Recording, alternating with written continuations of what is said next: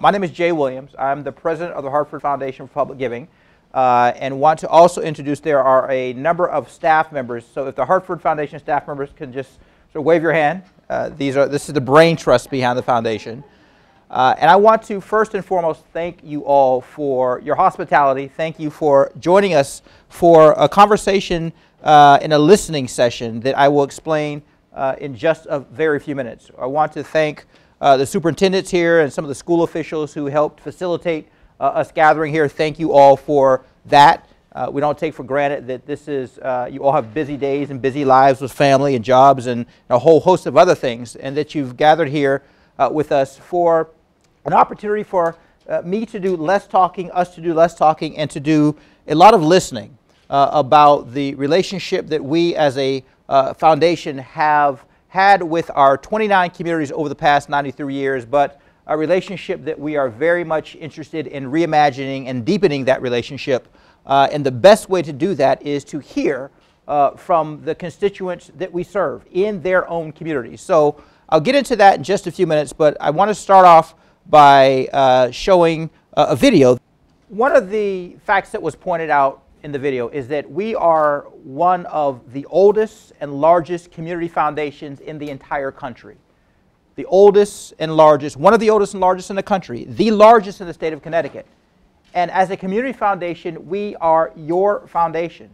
It's the Hartford Foundation for Public Giving, but we want to be very clear that it serves 29 communities in the greater capital region.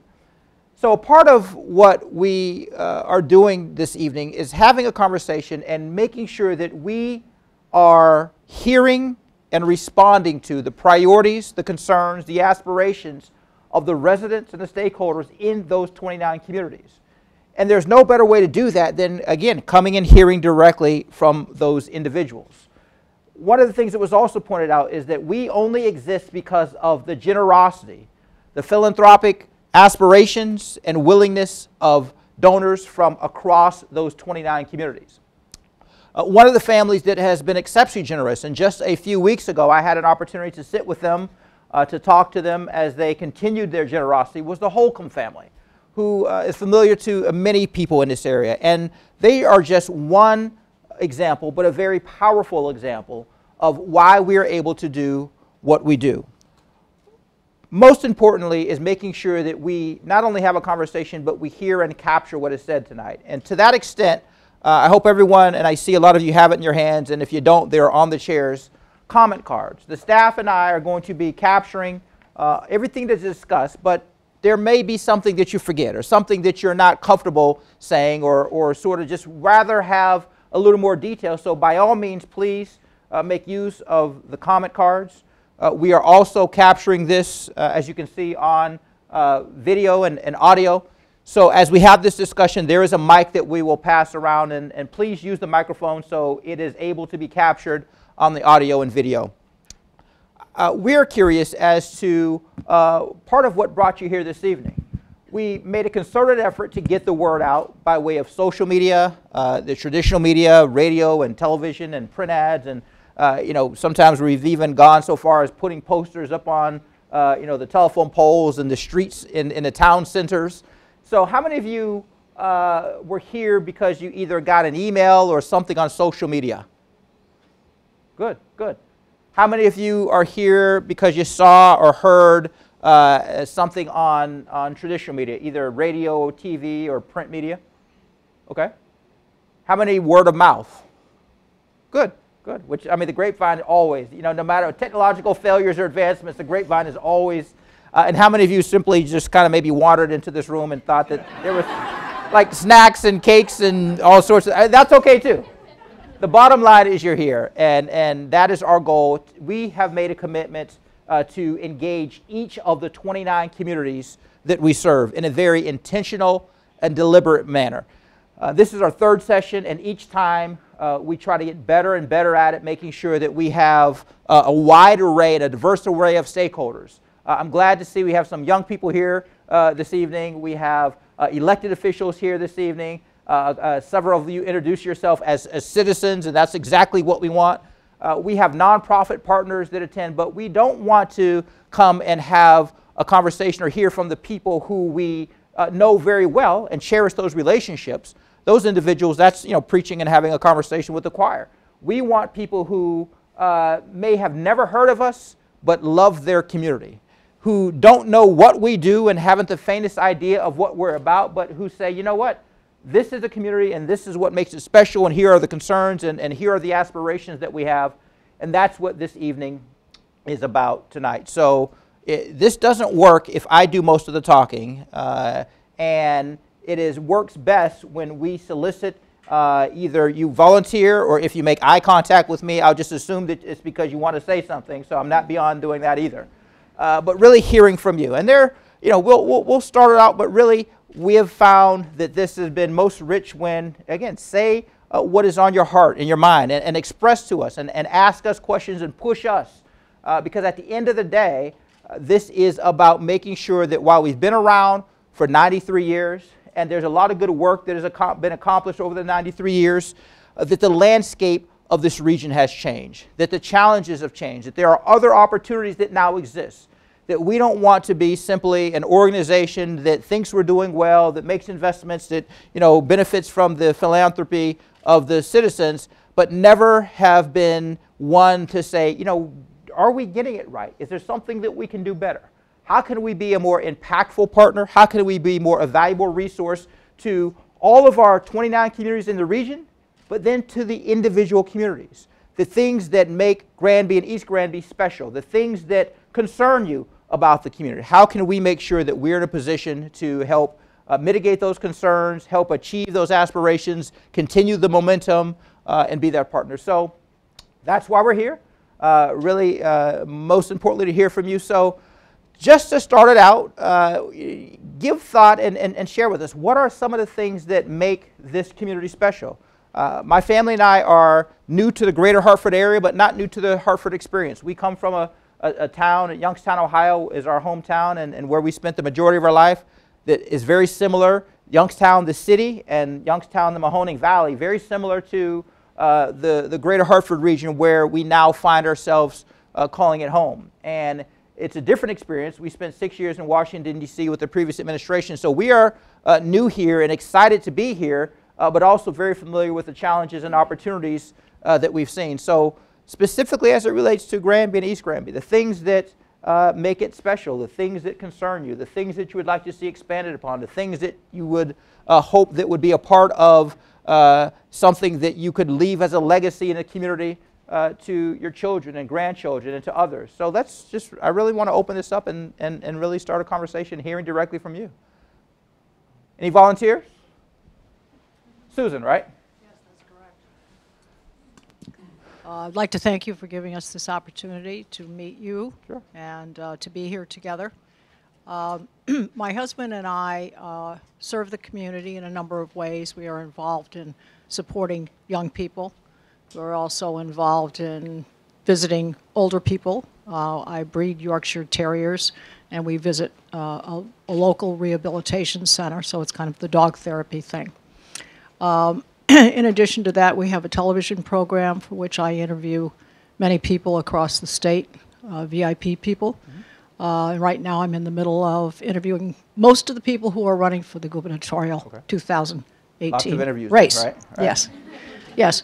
So um, we attempt to support and mentor young, old, and a broad landscape of people because our viewers probably, I want to say, they're probably ranging from 25 to 85, depending on the subject and the person that I'm speaking to.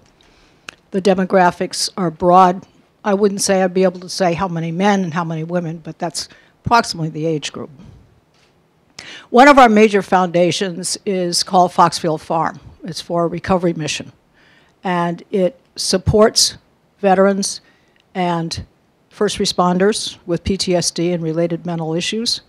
Uh, we had applied, I think, probably about a year ago, something less than a year ago. Um, and I'm going to be quite frank about this. Um, we were told that there would be no consideration for any um, although they thought we had a very good purpose, mm-hmm. uh, there would be no consideration for a donation unless we had a minority on our board. Um, I happen to have that, someone from my corporate life who I known for a long time, very qualified person. But I found it a put off for someone to say to me, we won't serve you or we won't consider you unless that. So I think that's a detriment to, to carve something out like that and say that unless you do. Right. Uh, I think what I have on my advisory board is a broad landscape of people who are qualified, who can actually get something done for our foundation, um, who are doers, who will respond, uh, who are capable of me picking up the telephone and making something happen. Right. Because we are very dedicated to helping the veterans and the first responders. So that's my comment. Okay. Uh, are veterans any part of your program? Sure. Well, thank you for sharing that. And let me talk about that. And, and that's exactly the reason we're here to have very, you know, uh, frank and productive conversations about how we can be a more invaluable partner. Uh, we do have a policy that requires our nonprofit partners to have a diverse board. Uh, we don't uh, say that it has to be any particular minority, any particular individual, or any particular ethnicity, but it does uh, take into account the diversity of the board, which should reflect the diversity of the community. Understanding that the communities that we serve in that 29 community range in diversity from some that have a very diverse population uh, to some that have a less diverse population to some that really have very little diversity at all. So that uh, policy is not meant to be exclusive.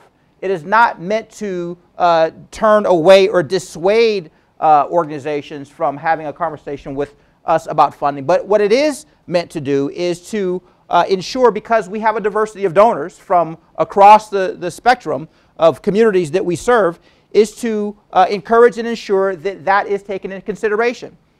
Now, that being said, I will tell you that there are communities that have, and organizations that have come to us and say, here are the, the demographic makeup, here's the demographic makeup of, of our community.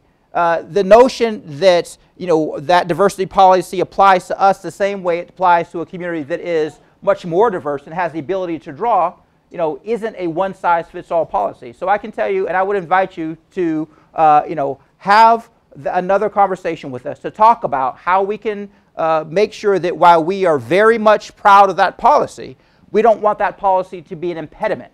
So to the extent that we look at and have a conversation with you about the community, about the diversity of the community, uh, and again, diversity comes in a, a variety of ways. Uh, so it, it is something that, sir, please, Judy. Yeah, I, I just want to say that we revisited that policy a couple of years ago and revised it.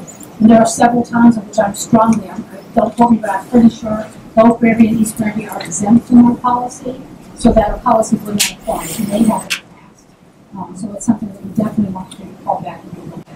Yeah, uh, the only reason I say that is, um, and I'm glad I had the opportunity, I think it's better to be Frank, uh, frank and candid.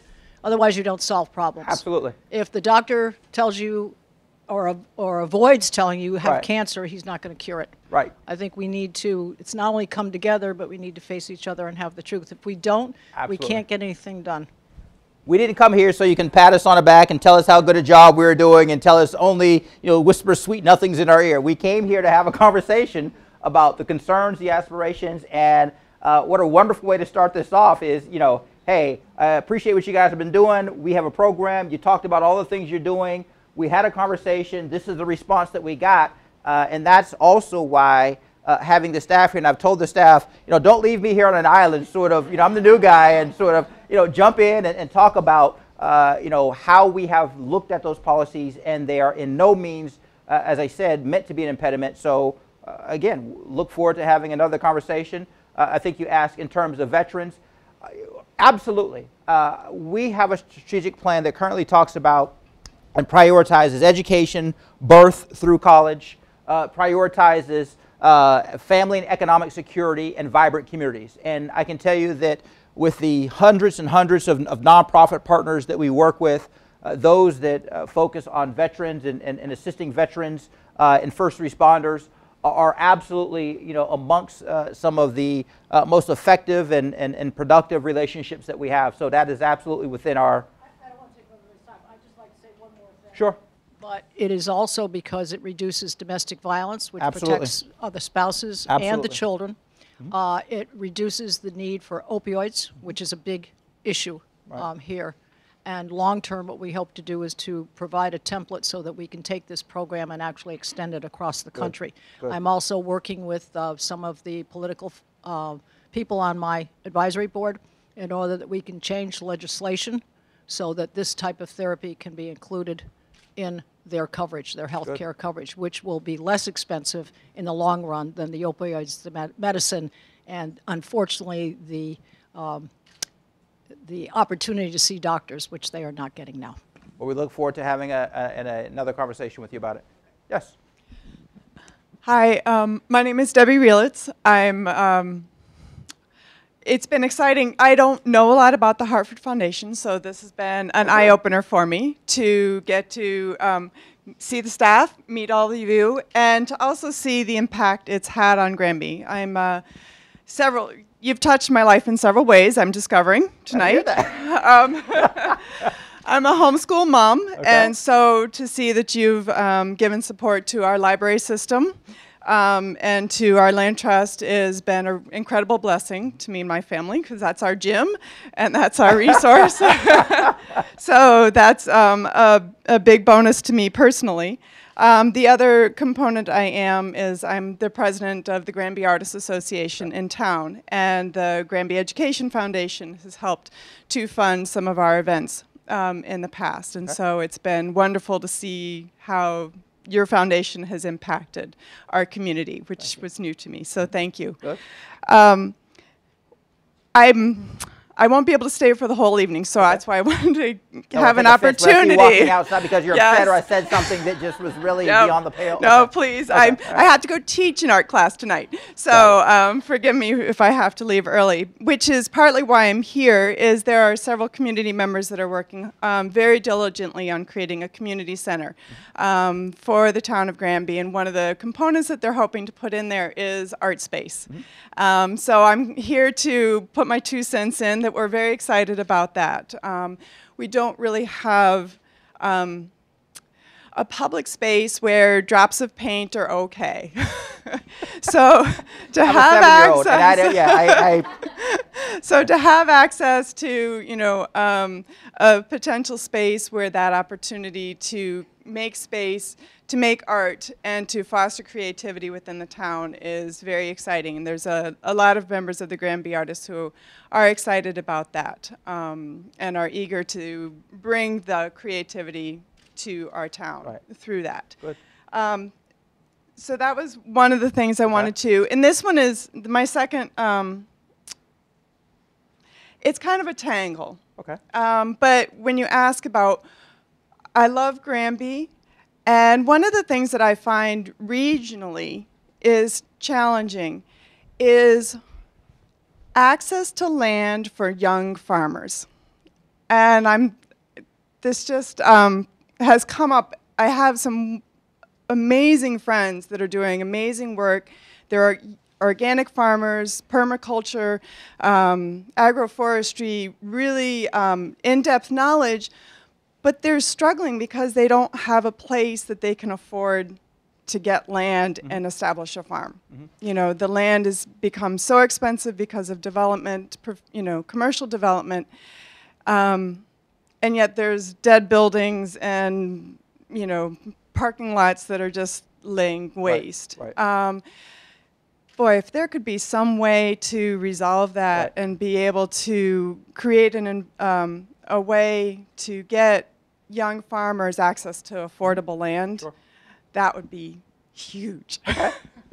Well, first of all, thank you for sharing that. And, and, and three things that I heard. One, when you talked about the fact that you said you didn't know a lot about the foundation, but in looking at that, realizing that we have touched and intersected with your lives in many ways. That is, you know, coming new to the foundation, that is something that I have uh, discovered myself that a lot of people, oh, you know, what brought you here? And, you know, I would say the Hartford Foundation and like, uh, yeah, we kind of heard of you. We're not quite sure what that is. But then you know they can rattle off a laundry list of things that are important to them or that they are involved in or that they know about that are things that we have supported for you know decades sometimes very significantly. So that was an interesting dynamic to hear directly from you saying wow i didn't realize that through these programs or initiatives Um, and again, we don't do it to, to, to you know, for self-aggrandizement, uh, but at the same time, you know, we're learning that we need to do a better job uh, in, in making sure that people know who we are uh, because it, it, enhances in our opportunity to uh, deepen those relationships and expand those opportunities. So that's the first thing. The second thing, uh, when you talked about uh, you know the, the notion of creating that art space and the creativity, uh, that is absolutely something that we uh, work with nonprofits across the region uh, that have uh, brought art spaces and have helped to facilitate and, and, and, and, and build capacity and bring additional resources and support to artists, you know, visual artists, you know, artists in the, the arts and music and, and, and creative arts across the spectrum. So again, we would welcome uh, a conversation about what uh, is going on here to create that space that would be of benefit not only to the artists themselves, but obviously the art and the benefit and the creativity that it brings to the entirety of the community. So we look forward to that. And an interesting dynamic, and this is what I like uh, particularly about these, is the unique things that uh, each community you know, has as, as, as, as part of their thinking. And when you talked about access uh, to uh, affordable land for farmers.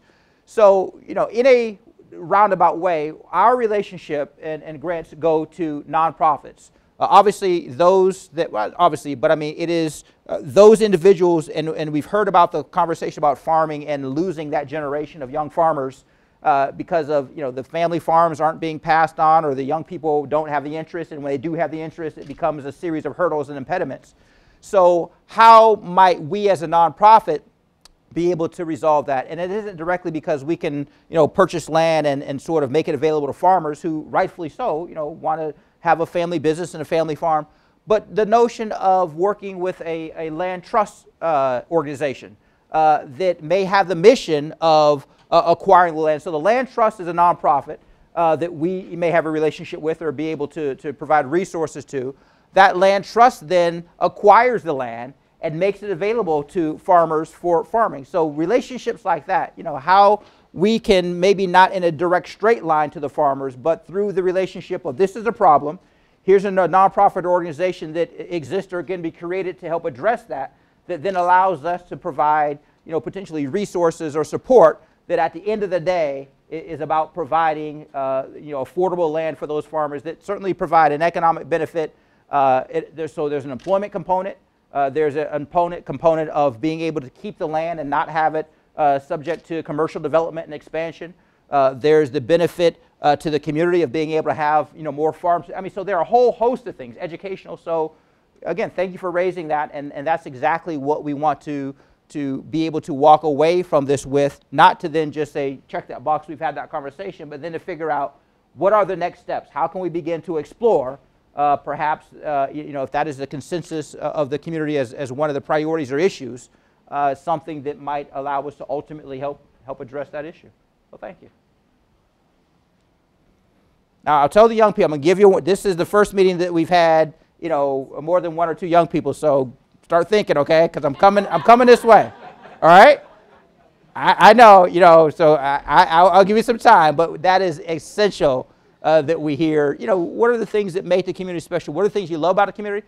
What are the things that you, you know, think are missing that we could help with? And I can tell you that in, in one of the previous discussions, uh, you know, the, the, the residents were talking about, well, actually a teacher came, the students were there, and she brought a list of things from students, and she was not going to read it. And I said, no, no, no, we have to hear the list of the students. And I mean, some of the things were, uh, you know, recreational facilities and skate parks and things like that. So Think of some of the things that you know you wish you had here that we might be able to help with. Is that fair?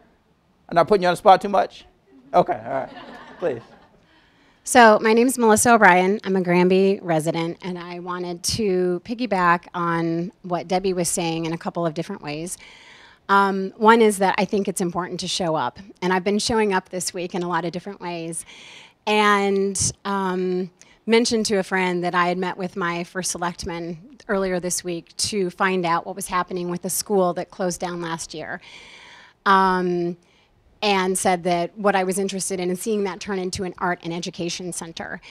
Um, art education community center. It used to have a playground in it, a garden center. And so, following up with a friend, she said, there are people who are really interested in seeing that happen also. They've got a proposal, they're doing that, and I'm looking at one of them, and I met another one today. So, showing up, thank you for doing this, for having this, for us to show up. But I also want to say, based on the idea about you have young people who have ideas, they want to farm, they want to be involved, and I find as a trans- transplant, I'm, I'm from Michigan.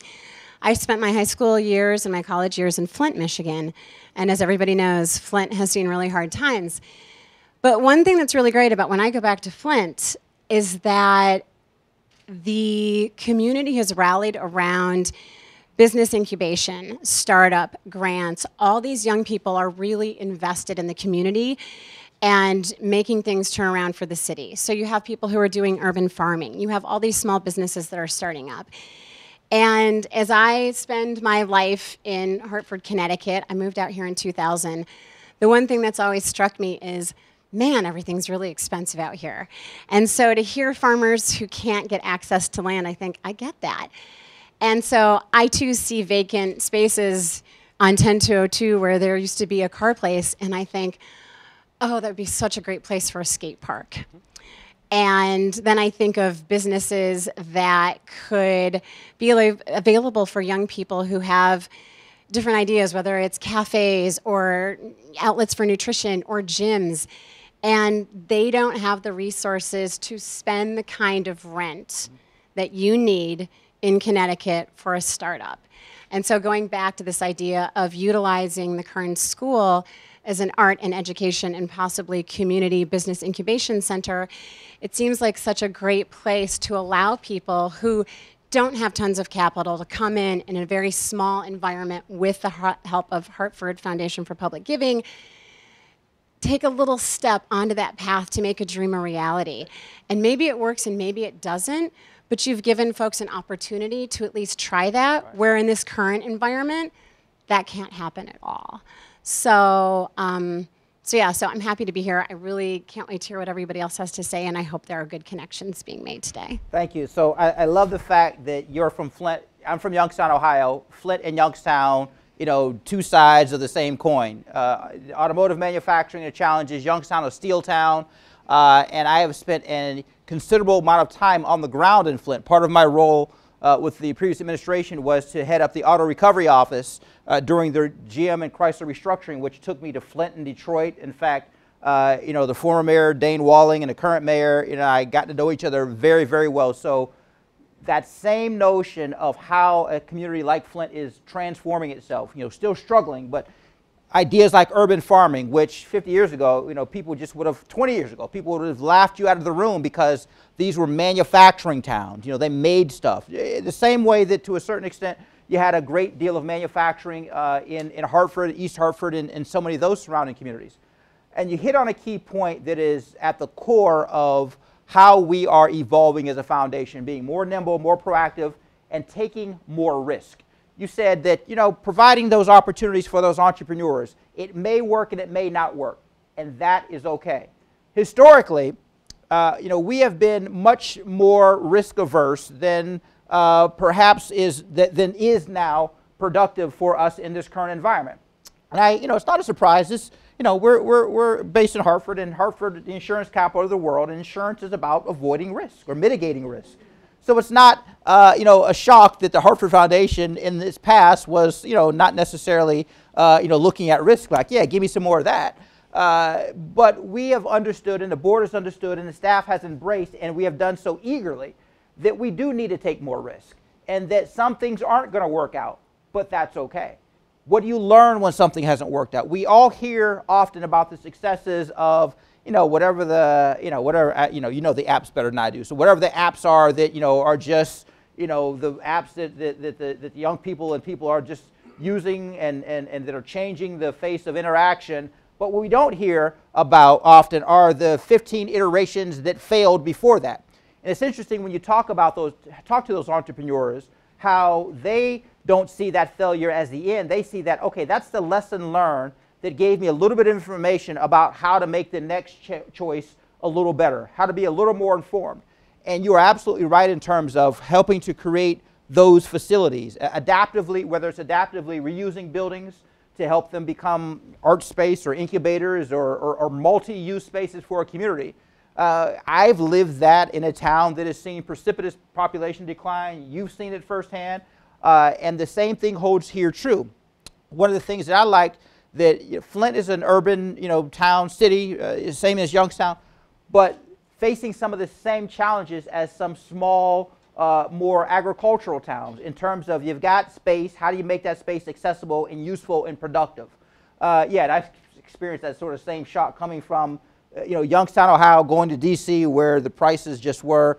So part of coming to Connecticut was like a, a relief because it's not Washington, D.C. prices, but it's still different than, than Youngstown, Ohio, or Flint. So those are the types of things. And, and we want to be a resource where, you know, it's not about our ideas and our aspirations, but to really hear from the community groups how we can be either from a, you know, there's certainly a financial aspect to that that, that, that, that we take into account. But the other thing is how can we be a convener and a thought leader? How can we connect some of these ideas you have to other communities that have a similar ideas or that have had similar successes? How can we perhaps bring in uh, individuals who have uh, an expertise or a body of knowledge uh, that you might not otherwise be aware of or have access to to help move those ideas from the idea stage to actually uh, you know, something that ultimately is, a, is an asset to this community. So uh, again, thank you for sharing that. And part of what we are orienting ourselves to in this next strategic plan that we'll be working on, which these conversations are absolutely helping us to inform our next strategic plan uh, that will uh, you know, work on this year and, and take us into the next three or four years. Part of that is this notion of how can we be more effective as a, a, a stakeholder partner in economic development, helping create economic opportunities and specifically around entrepreneurship, small businesses uh, helping them to have access to the resources and the expertise to take those risks, and, and knowing that the, the beauty of, of, of this area is that you know while there are certain expenses and costs, that taking a risk here and becoming an entrepreneur here is uh, much easier, not easy, but easier than a place like, you know, we hear about the Silicon Valley and the Austin, Texas, and the Boston, New York. Sometimes you can only afford to fail there once you know, and, and that failure can be, you know, life-changing. You, you put all your chips on the table and it doesn't work out and it can be devastating. As opposed to here, you know, you can dust yourself off and pick yourself back up and still sort of find a support network and an ecosystem that is welcoming and find additional resources. So how do we take advantage of the fact, you know, we often lament the fact that uh, you know, we're between Boston and New York the same way, you know, Youngstown lamented the fact often that we're between Pittsburgh and Cleveland or New York and Chicago. But how do we then use that to our advantage? Being more nimble, being more uh, able to uh, have individuals supported as entrepreneurs and know that, you know, we offer a wonderful quality of life here. Uh, we offer a, a, competitive cost of living compared to those other places. So that's the other side. How can we be a, a resource and a partner in helping to uh, advance that notion uh, as a community. You ready yet? Sure? All right. Um, so, hi, my name is Elliot. I moved to Granby a year and a half ago. From? Um, well, from all over. I had just been in Oakland uh, studying in seminary, and I moved back to Granby. Okay.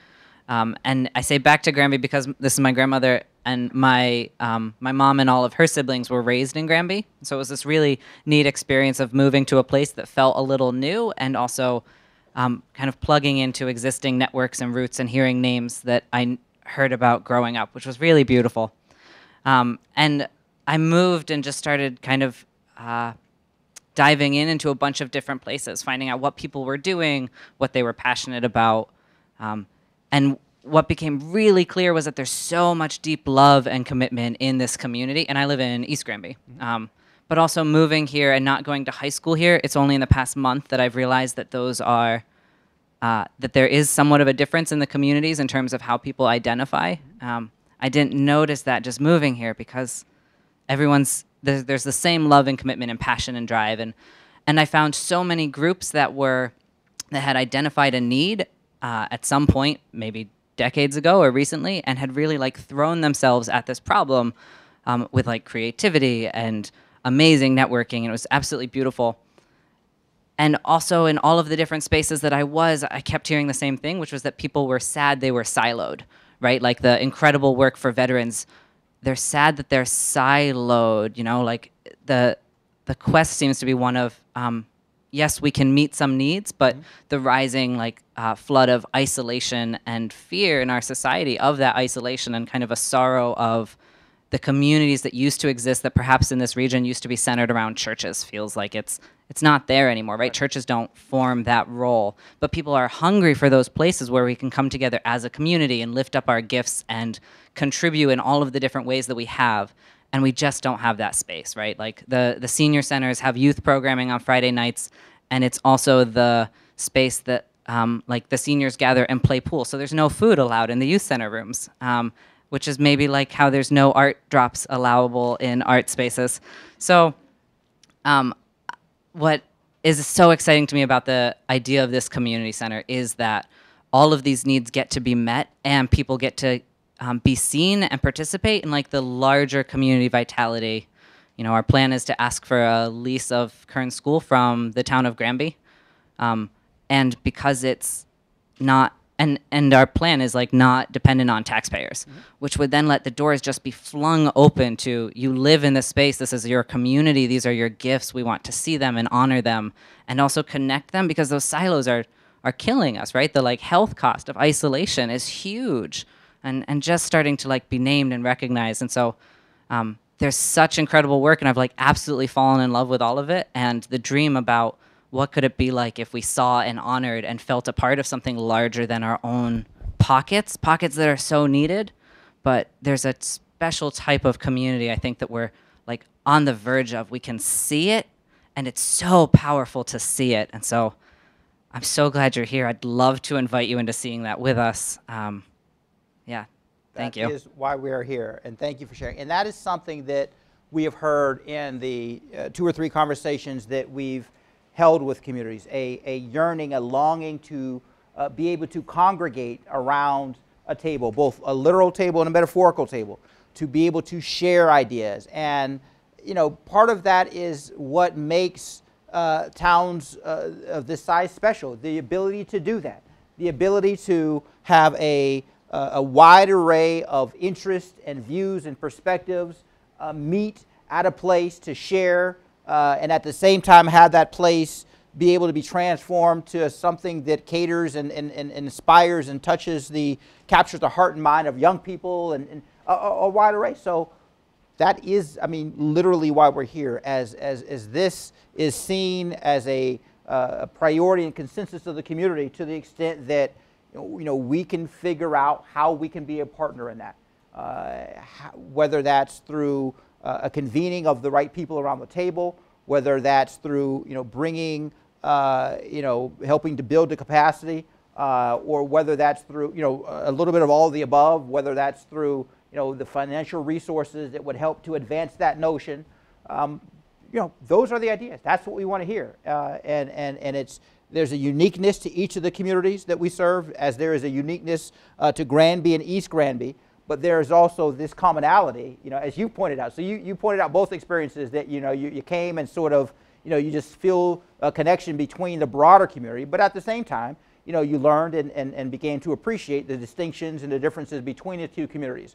So not as something to say, well, we, we have to have two gathering spaces, but something that says that that gathering space can both serve the needs and the uniqueness of each community, but at the same time something uh, that brings us together uh, as a community of East Granby and Granby. Yeah, thank you. Yes. Okay, I'm Peggy LaRoe from Granby. Um, and some of what people have been talking about here is community, so I just wanted to address my comments to that. Um, I think for me, the biggest issue for Granby, which is a very strong local community feeling, is to see what we can do to be part of the Hartford community again. I feel like in the decades I've lived here, um, there was some good things going on in the 80s. Um, you funded programs at the Holcomb Farm, I think, that were arts, very much like what they're trying to reestablish. Um, there were cooperative efforts. They didn't, there's many reasons they didn't go forward. Nobody gets blamed for anything. But I feel like we've gone way backward in terms of ethnic diversity in contact and racial diversity in mm-hmm. contact. And I really don't know what we're going to do to fix it. We have sort of uniform housing costs. We don't have any affordable housing in town.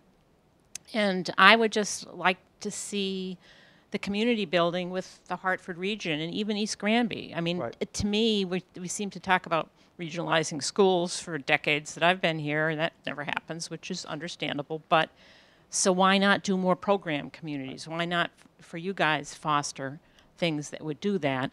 Um, the only other comment I have is um, somewhere along the line, I believe it was the policy for the Hartford Foundation not to give grants to organizations that had no executive directors. And I know in a town like this, that forecloses many good groups um, from doing that. I know you now have the Pomeroy Brace Grant through Seth Holcomb's funds. There's probably still Tudor Holcomb money out there. And it seems like maybe you guys could come up with a creative way to deal with helping groups establish an administrative structure that you would be willing to do, even if there isn't a formal executive director. So that's it. So absolutely, and, and as uh, Judy pointed out, in terms of the revision of the, of the policy, uh, in terms of the diversity, is, is that, Uh, Executive directors is something we look at on a case-by-case basis because it's broader than just whether you have permanent ED or not. Um, But definitely, we have funded organizations that have solely volunteer staff. Um, And so we, we would look at it on a case-by-case basis. And you are? I'm sorry. I'm I'm Judy Rozie-Battle, uh, Senior Vice President. I oversee our community investment. I just keep calling on this woman who has all these answers and haven't introduced her. I'm sorry. Yeah, thank you.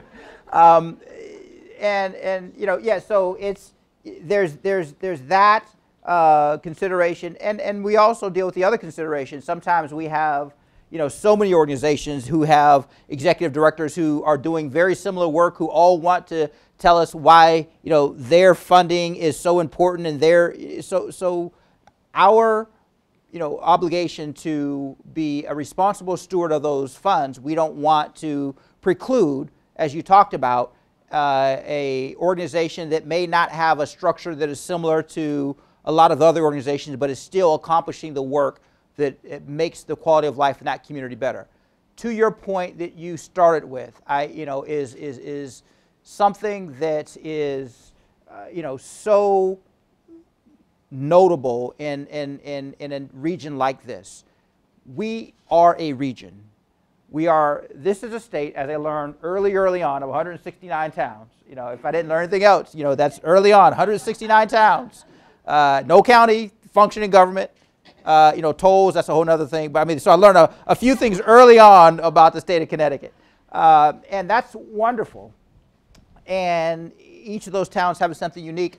But at the same time, in a state that is as small as Connecticut, in a, a, a region that is a subset of a small state, there is an absolute essential uh, quality of understanding the benefits and the connections between a region.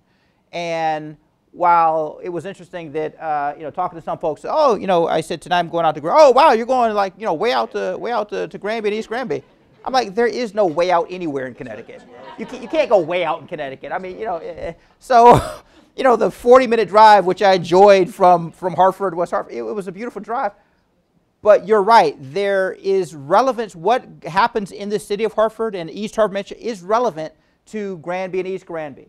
And uh, the notion that somehow we can separate ourselves uh, and, and, and isolate and, and, and succeed in isolation, you know, in, and sometimes that, while is a political, uh, uh, you know, construct, in reality, we will rise and fall broadly as a region. Uh, what happens in Hartford, good and bad, you know, ultimately has an impact on the quality of life of the region, and vice versa. And I face that as, uh, you know, in, in my own hometown of Youngstown and the surrounding communities. And while there are a lot of, you know, and I would say, first of all, self inflicted issues that, that we as a city had and, and, and engaged in, that I was, uh, even the most uh, vociferous critics, you know, couldn't counter when I said, well, how does a better Youngstown not equate to a better Canfield and Poland and Austintown, which are the equivalent of, of the surrounding communities uh, of the city of Hartford? So, you know, improvements in the relationships and the connections and the relevant uh, activities is something that we also, as a foundation, as a regional community foundation, are very uh, aware of and, and very much a part of our priority. And we don't think it's an either or. We don't think that we have to make a choice of being a regional foundation that helps to facilitate those connections or being a foundation of 29 communities and individually servicing those communities. It's a false choice to think it's either or. It is both. A regional foundation lifting up and putting our voice and lending our credibility and our name and our resources to those issues of regional relevance and importance, while at the same time being able to have a conversation about a gathering space or some of the things that are specific to Granby and East Granby. Uh, and part of what we are redoubling our efforts in doing is doing just, uh, uh are, are, redoubling our efforts in doing just that. Uh, recently, the Connecticut uh, Commission on, on Fiscal Stability and Economic Growth issued a, a series of recommendations and reports. And it wasn't that we took a position on, you know, which ones were good or bad. The fact that the status quo is unacceptable uh, is something that we are very much weighing into.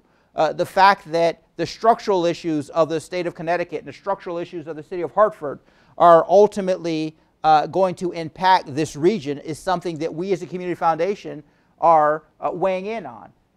Well, beyond that, we're also now working with the Community Foundation of uh, Greater New Haven, uh, the Eastern Connecticut Foundation, and, and other foundations across the state to collectively weigh in on these issues. So I, I really appreciate the fact that the recognition of this is a region and how can we, uh, while maintaining the, the quality of life and the uniqueness of Granby and East Granby, also recognize that your contribution to the region uh, and, and the other communities that are uh, you know, 40 minutes away from here as a part of the region, uh, those issues that, that, connect us are issues uh, that you know, we don't want to bury our heads in the sand and sort of just say because, you know, and it, and it, it goes well beyond, you know, people can argue about regionalizing schools or regionalizing this.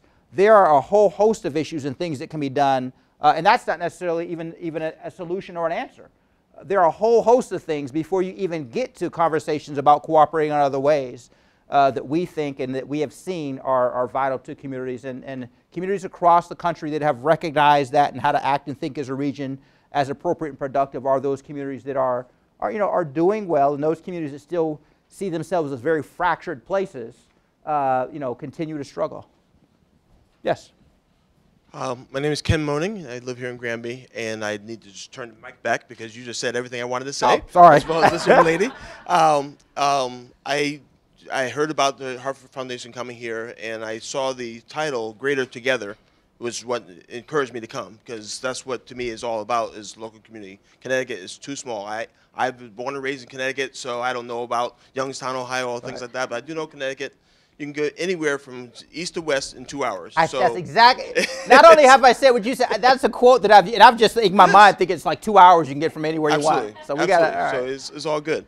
But there's so much division, unfortunately, in the little count little towns and everybody does things separately. We need to do things together. It's a whole economic. I saw a great article, read a great article. I think it's Hartford Courant or the Hartford Business Journal talking about regionalization and the concept. I hadn't really thought about. Right. I've been involved with the Equity Task Force on the Board of Ed and things like that, and there's diversity challenges and all these different things that, uh, especially around the, e the economy, can be resolved just by coming together. Right. Just, I love the even the graph of the uh, Hartford County that you have here, where you have the little divisions there. Could very easily group those together in a small area to handle a lot of some of the challenges that we have. So I'm all for whatever we can do to bring it, it, together.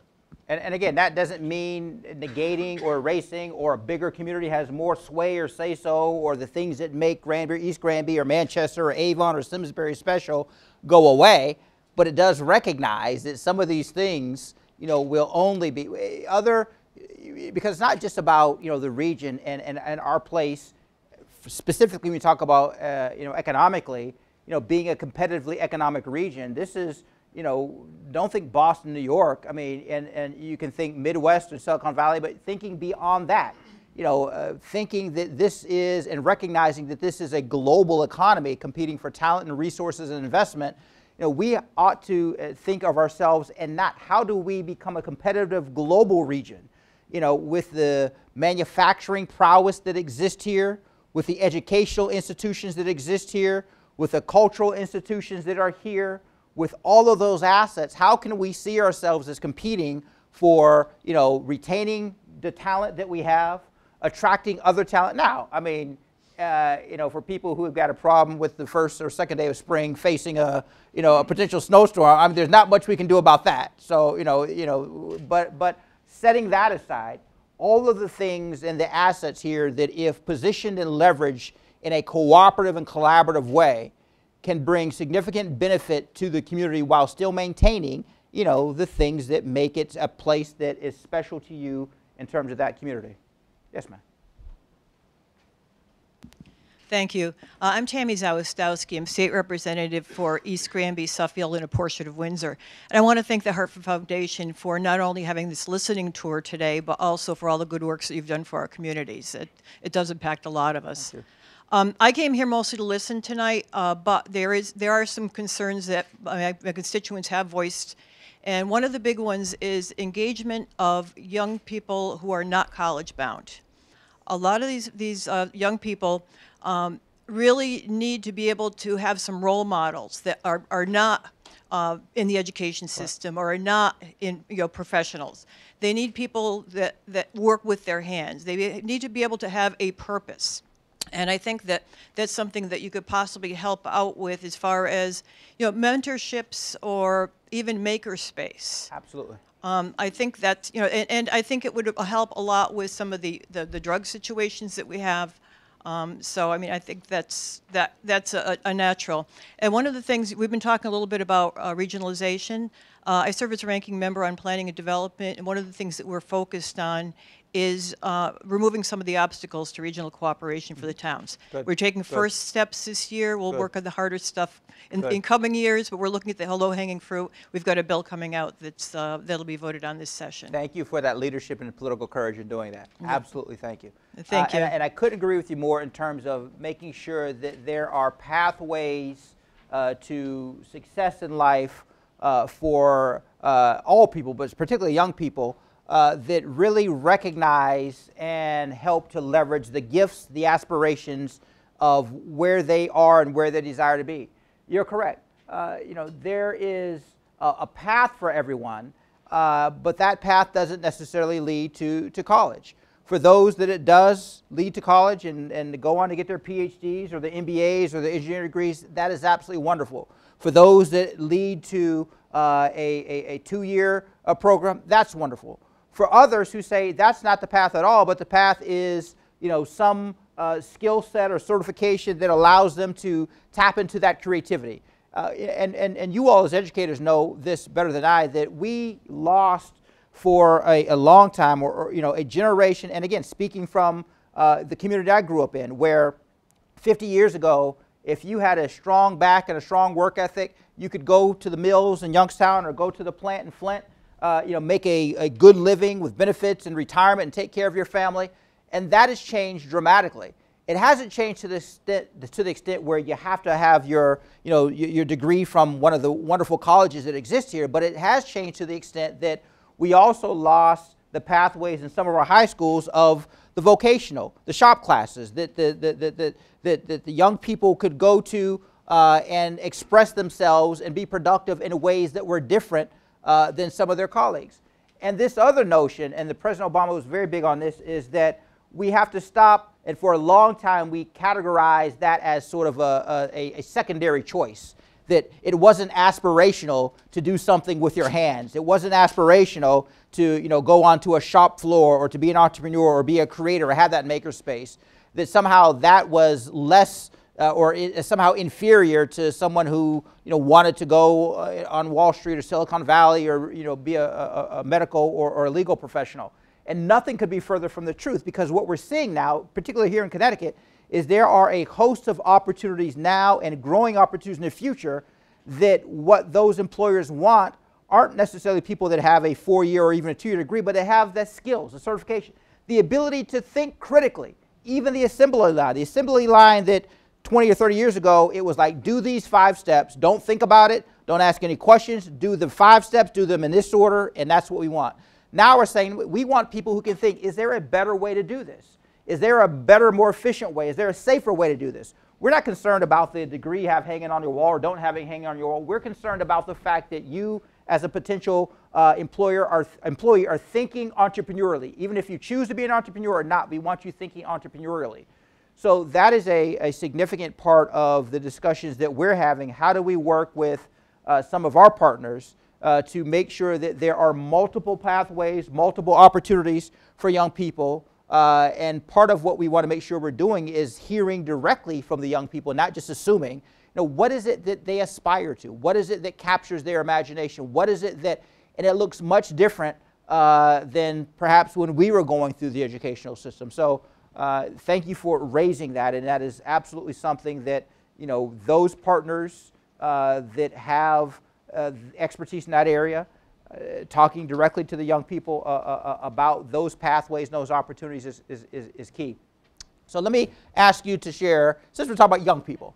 So again, just share with us your you know thoughts of, of, of the community and and and you know what is here, what might be lacking, what you know.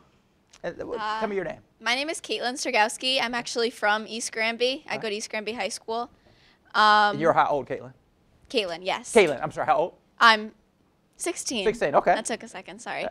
um, well, first of all, I want to say I'm kind of like one of the products of all of these um, charity, like not charity, but uh, cooperations and events. I was part with Alicia and Nourish My Soul, and so she was actually part of what would be going into that community center. Okay. So that would be a really cool thing to do because Good. we do a lot of things. We do like cooking and we do all the stuff, and it would be really cool to have that kind of space.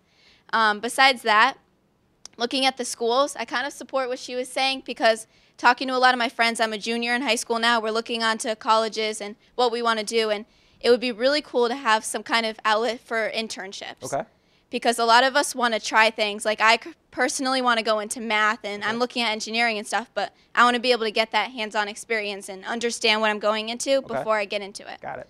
So that would be something cool. And um, I love East Granby. I love the small aspect where every teacher knows your name. So like I like to stay away from the whole regionalizing idea. I don't okay. like it. Um,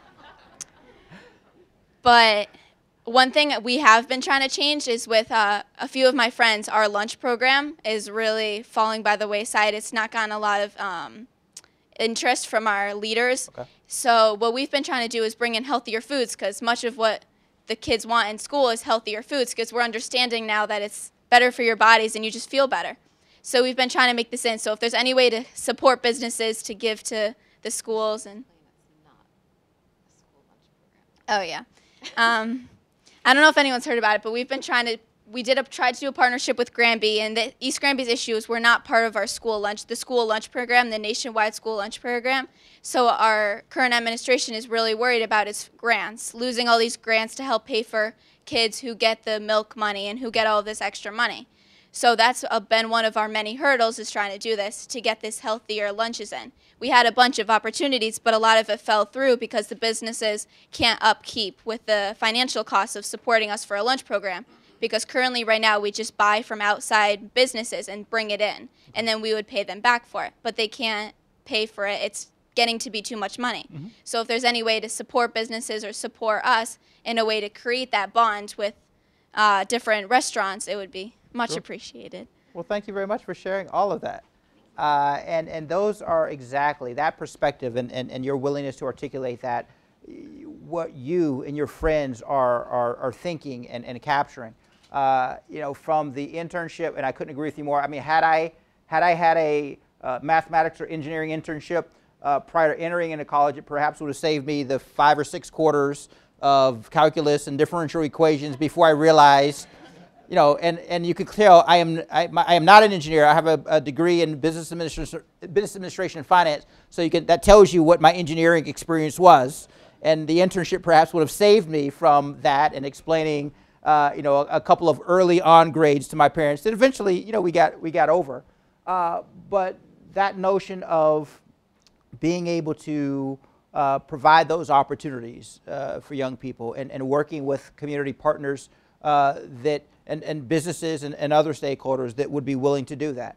Um, you know, tied in, in, a longer run, when you talk about the uh, desire to have healthier uh, options in schools, you know, you can draw a line to this notion when we were talking about, uh, oh, she left, uh, the uh, ability to have uh, local farmers, you know, who are productive and able to farm you know, what better group of folks to have that conversation with?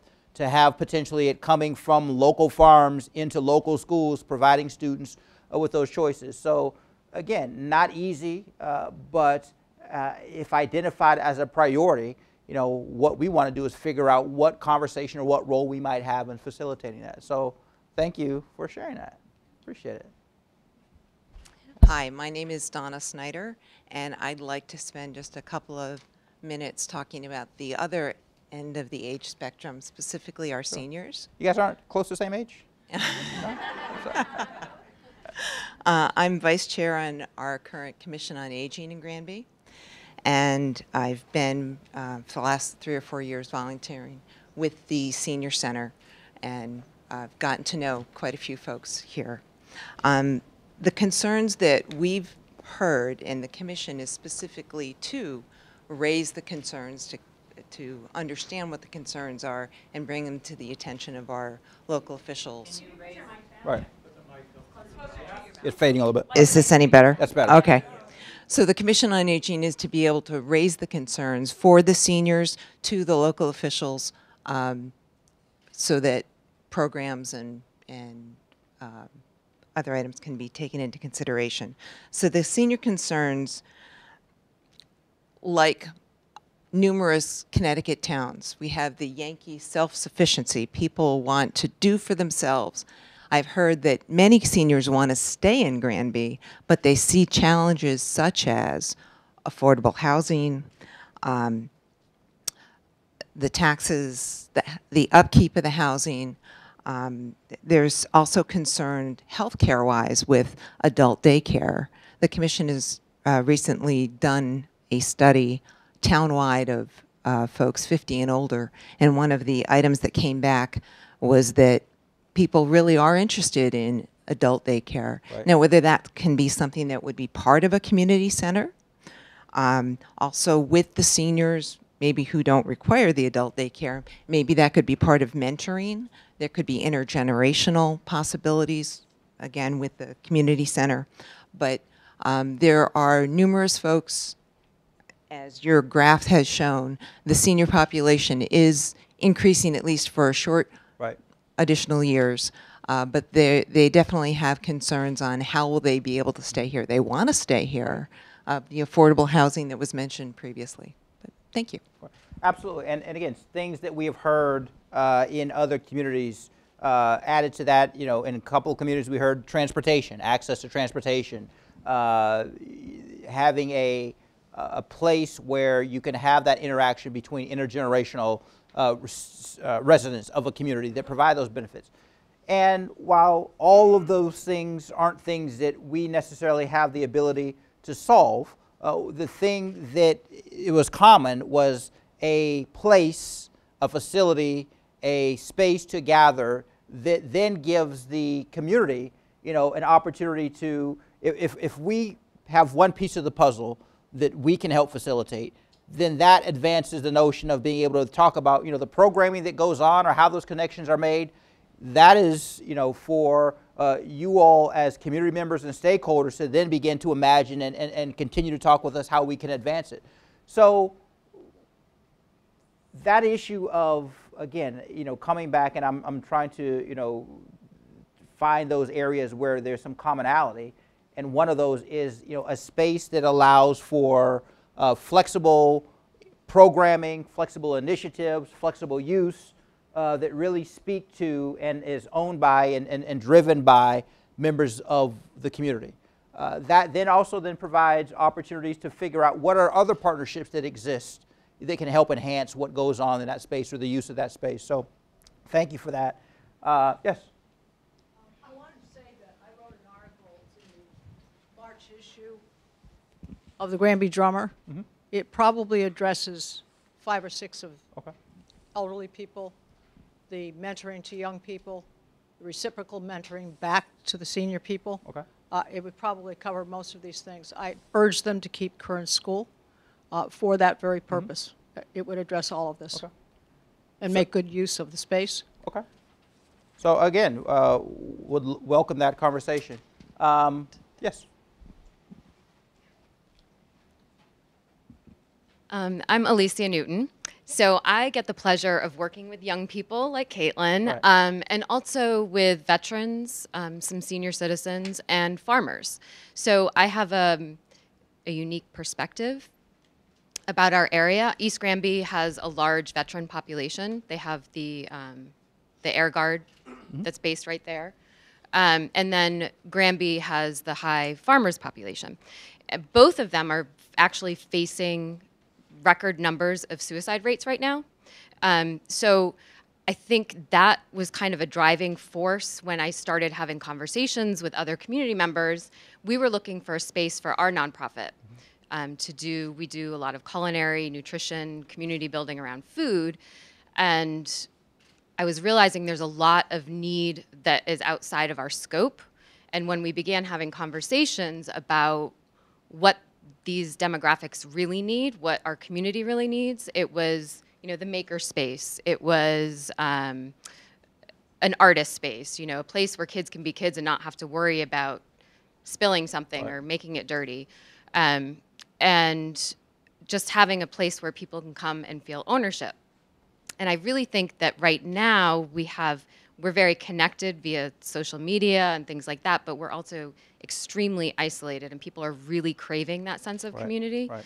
and and that's showing up in a lot of areas where you know where depression, mental illness, um, suicide rates, drug use, and um, I really I thank you for coming and listening to this because I think what I'm hearing from the community as I've been talking to people about it, about a community center, and the excitement is immediate. You know, Right. everyone's their eyes get big and they're like, yes, that is what Granby needs. And they say, you know, I've been wanting X, Y, and Z. And I'm like, yes. And we, you know, make the connection with someone who offers that. Right. And, you know, something like Kearns School, where it has the space where that would be, Mm-hmm. um, we can accommodate all of that is, is kind of the dream, which seemed really unlikely when we Right. first, when Elliot and I first started having this conversation.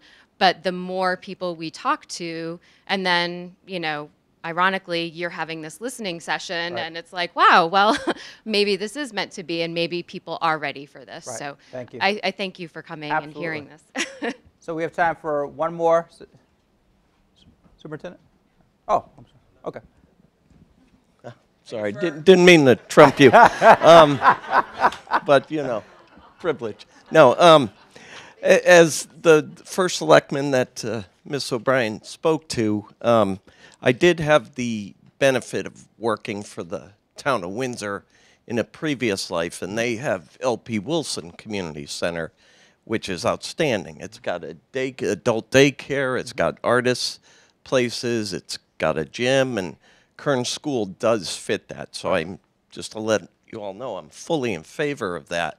The one of the challenges that I know the town has is because it's no longer a school, we would have to bring it up to code. Um, not that it was unsafe or Right. anything, but just that you know it's no longer that occupancy.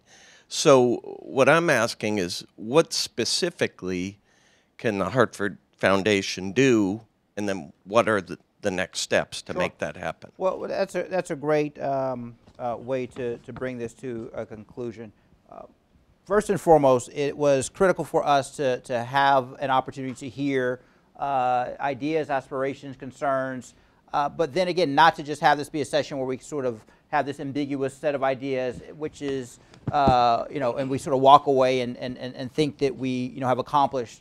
The idea here is to capture this, uh, to work with you all to, to figure out how to then begin to prioritize and figure out what are some of the pragmatic next steps. For instance, and, and, and again, uh, if, if this, the, the idea of a community center uh, and the idea of using a, a already existing building and, and adaptively reusing that is of interest, uh, you know, what we would want to do is we'd invite uh, some representatives to sit down uh, and then map out, you know, what might be the steps that would be necessary to, to you know, where we might provide, um, you know, financial resources, uh, where we uh, would be working in concert, again, with a community priority to help identify uh, other partners that might be uh, in terms of programming or uh, you know, what would be necessary to take it from where it is now to ultimately, you know, the community center that is uh, broadly talked about. So what we'll do is is capture this and and and come back to uh, you all with a uh, you know something that reflects what we've heard. Uh, and then some specific things in, in conversations that could then take this from concept to those next steps again, without being able to, to know exactly you know, what the funding requirements would be and how much we would be willing to, or and willing and able to sort of contribute to that. Also, then talk about how perhaps an investment from the Hartford Foundation could leverage and attract other resources. Uh, you know, we've been blessed with significant resources, but clearly there's a finite amount of, of, of ability we have and, and, a whole host of other uh, parameters that we operate under. But that's uh, what I would say is that you know, hearing this, being able to come back and say, this is what we think we've heard, did we get it right? And these seem to be the emerging priorities. How can we then take some next concrete steps to, to see, you know, what, what happens next? I will also say, and, and, and an idea that uh, was just, we found to be exceptionally phenomenal, is the idea of helping and having a conversation about establishing a community fund where uh, you know, we've had conversations with previous communities about us seeding a community fund that then provides resources uh, to, uh, you know, the community to start making some of its own decisions and having the resources uh, to uh, help advance some of those things. a fund that would provide an endowment to, a, to, a, to an extent of establishing perpetuity that could be used to attract other funds but also having a component of the fund that could be used right away to address some of these issues. So uh, that was an idea that came up in one of. Oh, there's already Granby. Okay, well, good. But um, I sit on that um, community board. Okay. We would love to talk more about Absolutely. perpetuity. Okay, all right. That it's, it, and, and, and, and so to the extent that we have been here for 93 years, we'll be here for, you know, uh, another 93 years and then some, uh, we will always be a partner, but also want to, to the extent that uh, Melissa just pointed out, make sure that there are resources that you all, you know, see as tools and, and, and ability to advance some of these things. So getting back with some specific uh, things that we've heard and then starting some conversations and meetings and engagements about how we could take it from, you know, concept to doing the due diligence to ultimately, hopefully advancing some of these things, but wanting you all to know here and you know going forward and sharing with others. We are your community foundation that you know for those who didn't know a lot about us and, and now know a little bit more, uh, we want to continue those conversations, those relationships. We want to be seen as a valuable partner. We want to be seen as responsive uh, to the issues and the needs. We want to be seen as proactive and creative uh, and nimble as, as a resource and a tool uh, to really continue to keep the quality of life here, to increase the quality of life, to address some of the concerns, both on a town level of Granby and East Granby, but also with an eye toward uh, creating the vibrancy uh, that is deserved and, and, and, and the potential that exists in this entire region. Because one thing I did hear is we're going to need um, help taking the carpets up so they can spill paint right. on the floor. but, uh, no, so, but I think it would address you know so many things with with diversity, with the arts. I, with, I, absolutely, and, you know, and having so any this, help. this morning being on my knees getting grape juice out of the carpet. You know that, that Ethan was yeah. So I you know yeah. that notion of being able to spill things right. you know without. But really, so thank you all for showing up. Somebody talked about you talked about showing up, and you know us showing up. Uh, you know is less important than you all showing up uh, and not just showing up, but then sharing with us and, and, and starting off, you know, very candidly and frankly, and I appreciate getting off to that uh, notion and us being able to address that right away and then uh, having a wide array of conversations. So thank you for sharing your perspective, all of you, uh, for your time, and we look forward to uh, being, oh, and the comment cards, my staff is reminding me, for those of you, uh, please, by all means, utilize the comment cards. You can pop those in the mail, postage paid, or, or leave them with us here tonight. So thank you all very much for your hospitality. We appreciate it.